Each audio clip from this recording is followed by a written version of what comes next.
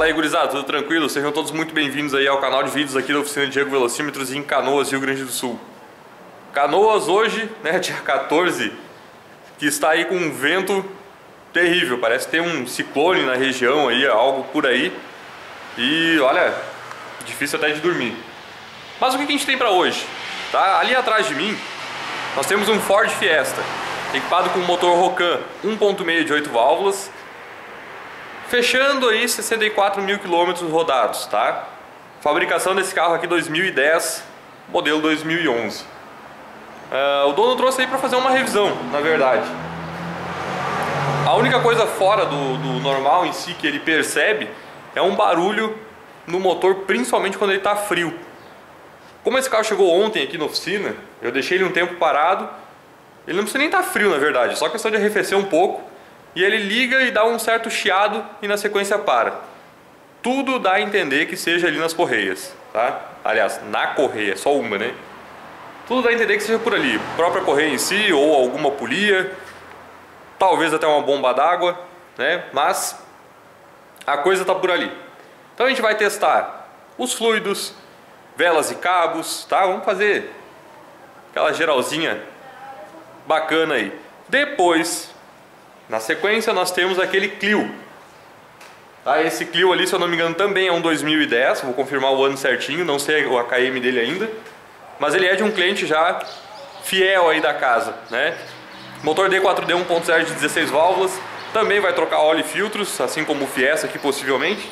E vai trabalhar o sistema de arrefecimento, tá? Na sequência aí vocês vão dar é, uma olhadinha em algumas cenas que a gente fez aqui do golzinho ainda, onde nós limpamos o arrefecimento dele. Falta agora completar o nível do reservatório. E ele está se encaminhando, né? Aos pouquinhos aí, ele vai botando a casa em ordem. Tranquilo? Bom, na sequência, as cenas do Gol e a gente volta aqui então pro Fiesta e pro Clio. Bom, senhores, esse aqui são cenas à parte, tá? Que a gente vai jogar aí dentro de um próximo oficina mecânica. Nós já estamos trabalhando o sistema de arrefecimento do nosso Gol aqui, ó, tá? A gente está com um problema de que a gente não consegue acessar a injeção eletrônica do carro via scanner. Provavelmente remover o, o code da chave, né, da central, alguma coisa assim, e acabou danificando. Então teria que tirar essa central, mandá-la para um conserto ou até mesmo trocar ela se fosse esse o caso. Então a gente vai monitorando a temperatura dele via painel, tá? Pelo instrumento. Ou aqui, ó, por um termômetrozinho laser, ó. Ele já recebeu um primeiro enxáguezinho. Aqui nós temos, nessa mangueira aqui, ó, 37 graus na inferior e na superior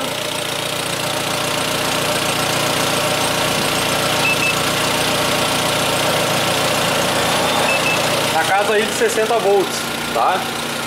É, 60 graus. Eita, fugiu a palavra. Então a gente vai monitorando aí até que haja a abertura da válvula termostática direitinho para ir fazendo a limpeza, depois entra com reservatório novo, aditivo e fica tudo em ordem. Na sequência também, quando ele disparar o eletroventilador, com a pistola estroboscópica, nós vamos aferir então o ponto de ignição do distribuidor. Tá? Lá embaixo, ó, na caixa, lá naquele buraquinho que a gente marcou, tem a referência, só que para isso a gente tem que remover o short plug, que é aquele cara ali no cantinho, e o top mesmo seria esse procedimento ser feito via scanner, tá? Ser monitorado via scanner. E daí ele dá uns procedimentos em si, controle de temperatura, controle de rotação, fica padrão. Mas infelizmente até o momento a gente ainda não conseguiu. Já identificamos que de fato o problema está na central, precisa ser reparado, tá? Enquanto isso, até a adaptação do corpo fica mais difícil aquele procedimento manual que existe para esse sistema. Não é 100% confiável, é um probleminha a mais aí pra gente. Mas vamos lá, na sequência ele está com tudo limpinho aqui e já com o aditivo colocado. Olha como a marcha lenta do nosso Gol aí tá bem mais estável, né? Não tá tão barulhento. Tá bem sereno. Por quê? Porque depois da aferição do ponto aqui do nosso distribuidor, que estava bastante atrasado, ele fica bem mais calmo, ó. Bem mais calminho, só dá pra ver o cabinho vibrando aqui mesmo, porque ele tá flutuando aqui, né? A verdade é essa. Mas o motor é bem tranquilo. De uma maneira convencional, assim que o motor atingir a temperatura operacional, que ele ligar e desligar aqui umas duas vezes o eletroventilador, ó, acabou de ligar. A gente remove o short plug e aí então faz a aferição ali aos 6 graus. O nosso volante tem as duas marcas, tem o 6 e o 0, tá? Se a gente deixar a pistola estroboscópica, que tem avanço, por exemplo, em 0, a gente vai aferir em 6 graus. Depois para confirmar se na pistola a gente posicionar ela para 6 graus, ele deve bater em 0, tá? Então tá aí a teoria para vocês. Daqui a pouquinho ele desliga o eletroventilador, mais enxágue e na sequência aditivo novo. Olha aí que show! Funcionando, reservatório novo, aditivo novo, Agora a gente vai monitorar ele aqui até ele misturar todo esse aditivo aí. Tá? Recebeu a capinha traseira, os cabos agora organizadinho, né? Essa capinha de segurança aqui em cima. Bacana. Aos pouquinhos tá tomando forma de novo. A temperatura dele aqui tá bastante estável, tá? Eu quero ver se eu consigo mostrar aqui, ó.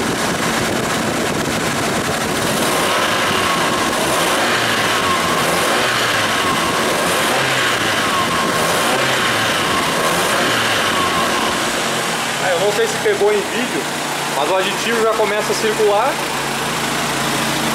Na sequência aí tá show de bola. Bom, senhores, aqui no Fiesta, então voltando, né? Primeiro, o que, que acharam aí do golzinho, né? Um passo de cada vez aí ele vai entrando em forma novamente, né? Aos pouquinhos. Bom, no Fiesta agora aqui então, o orçamento que eu passei ao dono do carro já está autorizado, tá? Mas eu vou ilustrar aqui para todo mundo.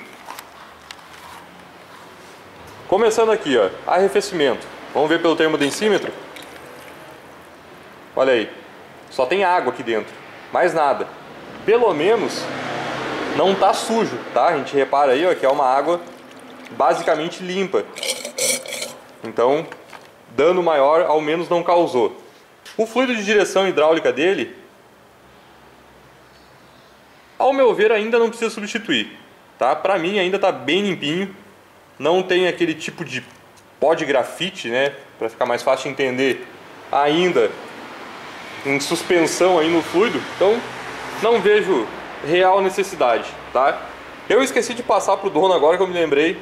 Esse vazamentinho aqui, esse suor aí ó, na tampa de válvulas, muito comum nos motores Rocan. Mas na sequência eu faço um complemento para ele já tá ok. Eu removi uma vela de ignição e um cabo, tá? Cabo chega a estar tá brilhoso por dentro lá ainda, bastante íntegro, flexível, né? E a vela de ignição, a princípio aqui também tá ok. Mas a gente tira todas as outras depois, escova as roscas direitinho, né? Verifica aí a abertura do eletrodo, normalmente é 1.1 ou 1.3. Vamos ver se ela diz aqui. Ó, essa aqui é 1 milímetro exato de abertura, 10, tá? Então a gente só verifica direitinho e já pode voltar com elas também. Princípio está tudo ok. Fluido de freio. Não precisa nem falar a respeito, né? O óleo do motor foi substituído há pouco tempo, pouquíssimo tempo na verdade, então ainda está dentro do prazo. É, mas o dono do carro não sabe me dizer se o filtro de ar, se o filtro de combustível o filtro de cabine, se esses já foram substituídos. Ah, então, na dúvida, a gente vai verificar. Se precisar, já está autorizado também, a gente já sai trocando. Tá? Tem uma etiquetinha da Ipiranga, do para-brisas ali, ó, onde mostra que o óleo foi substituído. Bom, ainda vamos dar uma olhadinha em injetores. A correia aqui que está fazendo barulho. Vamos dar um, um talentinho nessa parte aí. posicionar ele no elevador e a gente começa a brincar com ele. Ford Fiesta aqui então já teve o fluido de freio sugado né, pela nossa bomba de vácuo. Abastecemos então com um novo ATE DOT 4 e já montamos a ferramenta aqui para troca do fluido, tá? A ferramenta aqui da Supertest, ó. Pressurizada em um bar. Nós vamos então subir ele e trocar o fluido de freio do atuador hidráulico de embreagem que está aqui. Lá por baixo é um acesso mais simples, compartilha do mesmo fluido. Trocar aqui a correia Poli-V, que já tem aí um certo desgaste, polias, para que fique tudo zerinho. E também o filtro de combustível, tudo numa pegada, tá? E essa ferramenta da Supertest aqui é muito bacana, ó, porque ela serve aí também para fazer aquela limpeza de injetores forçada, vamos dizer assim, no próprio local. Como que funciona?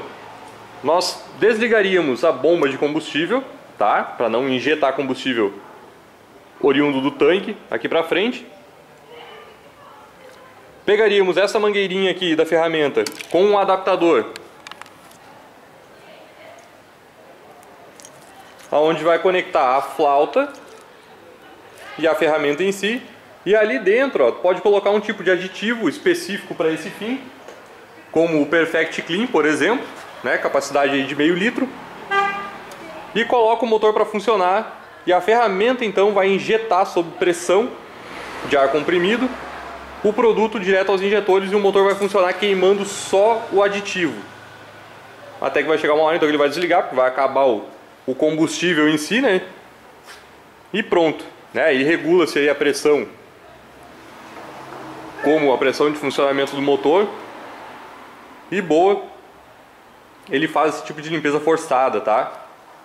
Para quem quiser adquirir esse equipamento aqui junto à Supertest, ó, é só acessar o site da Supertest aí, é supertestbr.com.br e lá tem essa ferramentinha magnífica, assim como várias outras, que facilitam aí bastante no dia a dia da oficina. Vamos subir ele aí e vamos trabalhar. Prontinho, todas as quatro válvulas de sangria referente a freio, né, as duas pinças e os dois cilindros de roda já foram substituídos e agora aqui o atuador hidráulico da embreagem então para fechar os 500 mililitros. Filtro de combustível realmente precisava ser substituído, já está aqui o novo, tá? Aqui na bancada o velho, que é um genuíno Ford 5S659155AA porém fornecido pela malha, ó, KL420. Pronto. Tá resolvido o problema. Agora a gente vai partir então para troca da correia Poliv. Olha a epidemia aí, né? Pois é. Deixa eu dar uma virada na luz aqui para tirar um pouco do reflexo. Olha a bomba d'água lá em cima.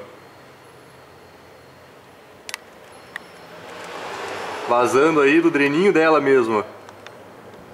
Tá aí aquela bomba plástica ainda. E isso aqui é um verdadeiro problema. O ruído principal com certeza está vindo aí dela, né? Isso aí é reflexo da falta de aditivo, ó, tá enferrujado, tá? Então aí seria muito prudente substituir a bomba. Bomba d'água do Fiesta aqui foi removida. E olha a folga que ela tem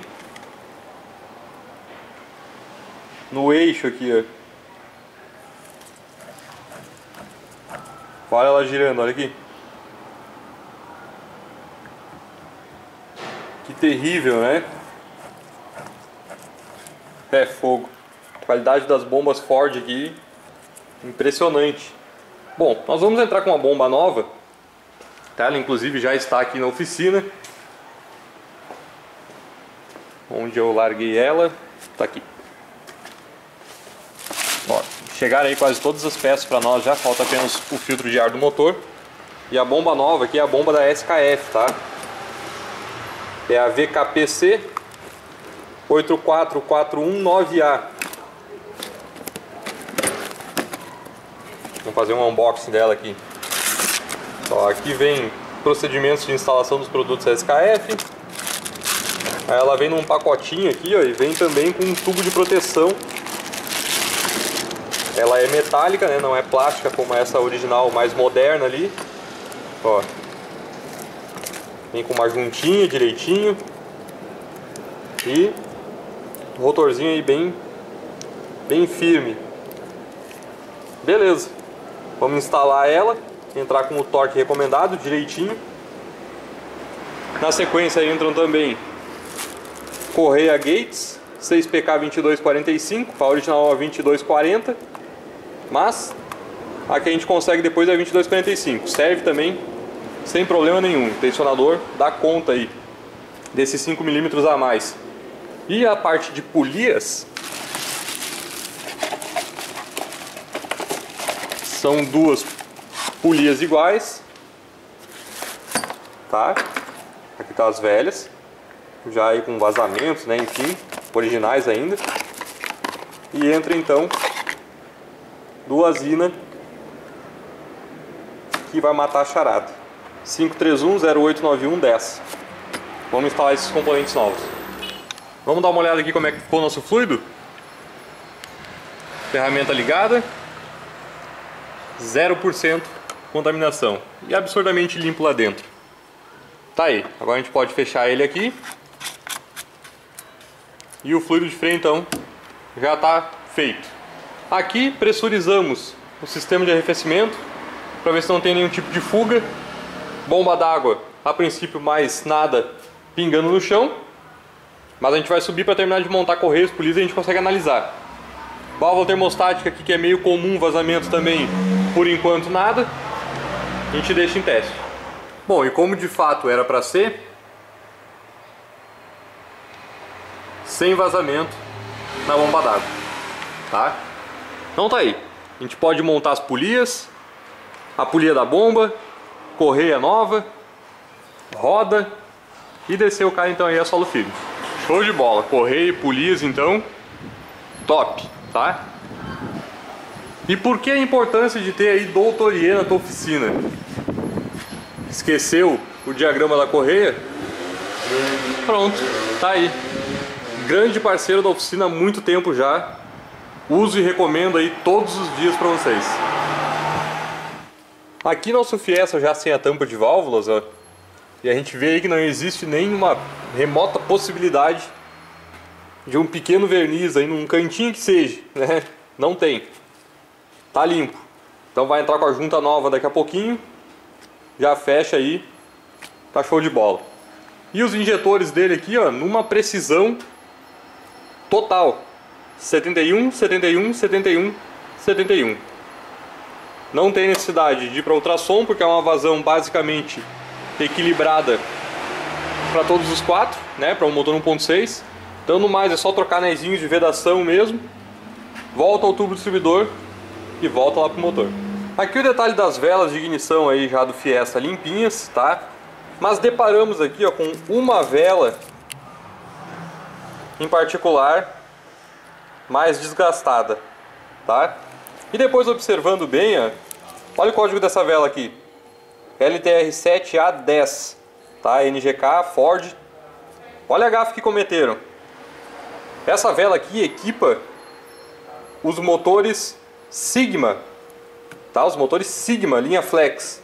A vela correta para o motor Rocan 1.6 TR6B10 tá? Então, um erro cometido aí dentro de uma concessionária. Acontece, né? É possível acontecer, somos humanos afinal. Mas não pode, né? E o pessoal bota ainda às vezes vela de motores Endura, né? A vela derrete o eletrodo aqui para você ter ideia. Agora então, aplicar as velas corretas e vai ficar 100% funcional o sistema de ignição. Nossos injetores já voltaram lá para o motor e ambos receberam aí, ó, quatro anéisinhos de vedação desses mais grossinhos 1220 da DS e os fininhos 1221 também DS, tá? É só o que a gente utiliza aqui na oficina. Kit de reparo DS, porque são os mais top aí. As velas corretas então já estão lá. A junta da tampa de válvulas aqui, ó, uma Sabó 75022, tá? Junta bacana essa. Agora é a hora do Militech. Vamos colocar ele aqui devagarinho, para não fazer lambança. Como o óleo foi recentemente trocado, ele já vai entrar aqui, a gente deixa escoando aí à vontade, já fica ok.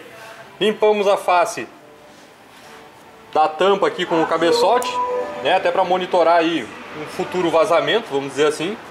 Agora é botar aquela chapinha de proteção aqui que pega o último parafuso da tampa e um parafuso de coletor. O corpo dele tá bacana, tá? Não tem nada de sujeira, tá em ordem. a gente pode montar de volta aqui então a caixa do filtro de ar e de fato colocar ele para trabalhar, né? Começar a funcionar o nosso motor aí para trabalhar o arrefecimento dele, onde vai entrar um reservatório de expansão novo e aditivo então agora para proteger o sistema e a nova bomba. Aí é claro que ele não vai faltar, né? O aditivo para combustível aí mais top do mercado, né? O tônico do pica-pau aqui tem que estar tá sempre presente, né? A maioria dos carros que saem aqui da oficina levam aí duas doses iniciais de Kobe Perfect Clean. Boa. Agora ele já pode então aí oficialmente voltar a funcionar. Bom, enquanto o Fiesta trabalha o sistema de arrefecimento aqui, ó, nós vamos monitorando ele aqui pelo nosso scanner 3 da Raven. Tá, a temperatura da água aí está em 54 graus neste momento. Ar quente acionado lá dentro. Vamos lavar tudo, deixar 100%. Enquanto isso, o Clio aqui ó, já está no elevador. Tá? Esse aqui é um Clio D4D 1.0 de 16 válvulas, fabricado em 2011, fechando 51 mil quilômetros. Vai trocar o óleo do motor e os filtros e vai também trabalhar aqui o sistema de arrefecimento que o dono quer que entre com um aditivo novo. Então vamos subir ele, vamos deixar drenando o óleo, sacar o filtro fora, já trocar o filtro de combustível lá atrás e na sequência a gente baixa ele aqui. Depois, quando liberar o equipamento, já passa para cá. O Clio já teve o óleo drenado, filtro substituído, e aqui atrás o filtro de combustível substituído também. Mari KL 583, tá? Então agora a gente vai montar o protetorzinho de volta e vamos descer ele. Aqui para o Fiesta ainda se faz necessário mais um enxágue, né? Agora já sai limpo, mas mais um já fica ok. E aí já entra com um reservatório novo, tá aqui. E aditivo então na proporção recomendada. Eu acabei esquecendo, na verdade, ó, o dono trouxe para nós aqui um bujão magnético para colocar no cárter lá. Então a gente tirou fora de novo. Vamos colocar ele, dar o torque necessário. Já fica show de bola. Para a próxima troca de óleo a gente já confere. Bom, agora o Clio está aqui trabalhando o sistema de arrefecimento dele e monitorando a injeção. Tá? São 44 graus a temperatura da água. Já recebeu um primeiro enxágue Aqui na verdade não é nem limpeza, né? É troca de aditivo, tá? Só tirar o máximo do aditivo velho para entrar com o novo. Aí na sequência entra o filtro de, do ar do motor e o de cabine dele já tá 100%. O Fiesta tá aqui, ó. Tá quase pronto já. Ele tá funcionando também.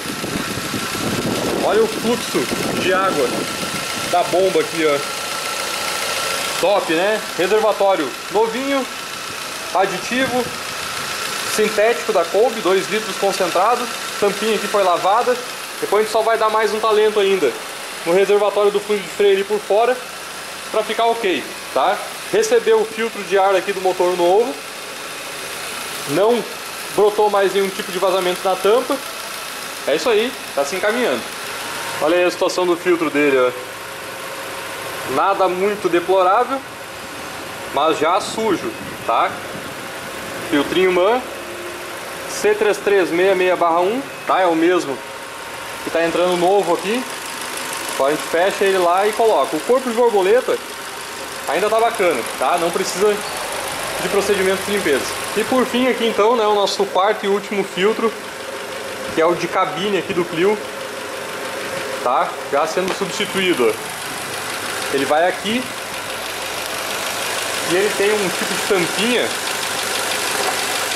Ó, essa aqui.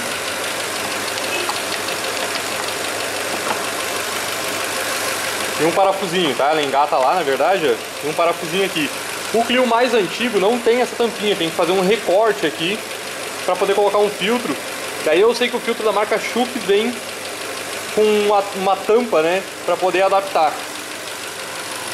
Lamentável, né, mas tem recurso. Então agora a gente bota o parafusinho de volta, fecha direitinho e boa. Bom, gurizada, o Clio aqui já está concluindo a troca do aditivo, né? Acho que mais um enxágue aqui já é necessário, já se faz necessário para poder matar a charada. Depois entra com 2 litros de aditivo concentrado, fica show. Na sequência ele já está prontinho. Então, senhores, o Clio aqui está concluído. Tá? Era uma revisão mais básica, mais simples. Recebeu aí então 2 litros de aditivo concentrado sintético amarelo da Kolbe. Vai manter a originalidade aí, vai ficar tranquilo. A gente só está controlando ele para disparar o eletroventilador. E aí então ele já está pronto aí para ir para casa. Calma, não explodiu nada aí não, tá? Apenas para finalizar o Fiesta aqui, a gente está trocando o filtro de cabine. É, por incrível que pareça, para trocar um simples filtrinho de cabine, que vai lá naquele buraco, lá atrás, no centro do vídeo, precisa soltar todo o console central, toda essa tampa gigante aqui, que eu não sei por que não fizeram uma tampinha simples, como no no Focus, né? Para poder chegar lá. Olha a mão de obra que dá isso daqui. Mas tá de boa. Vamos entrar com um filtrinho novo aí, matar essa charada. Então, olha só como é que tá a situação do filtro de cabine do Fiesta, né? Bem sujo já, fazia tempo aí que não era substituído. E ele já tá aqui então, prontinho. Ah, hoje atrasou um pouco ali peças, né? Foi um alguns contratempos, mas está aí tudo montado. Todos os parafusos, sem exceção, voltaram para o seu respectivo lugar. Tudo top, tudo show de bola. Ah, deixa eu virar aqui então. Eu já vou me despedir de vocês aí, porque é mais uma oficina mecânica que vai chegando ao fim, tá? Uh, as gravações foram até tarde hoje, já perdi até a noção do tempo de vídeo já gravado. Mas é isso. Fiesta aqui, 100% revisado. E o Clio também, etiquetado aí, selo de qualidade, show de bola. Fiozinho foi de boa, né? Nada demais. Troca de óleo todos os filtros e uma troca do aditivo aí do sistema de arrefecimento. O carro é mantido com uma manutenção aí preventiva constante, né? Não dá noutra. Tranquilo? E aqui também 100%. Gostou desse vídeo? Deixa aquele likezinho básico aí pra nós. Compartilha no seu Facebook, nas suas redes sociais e também não deixe de se inscrever no nosso canal se você novo por aqui. Grande abraço e até o próximo vídeo.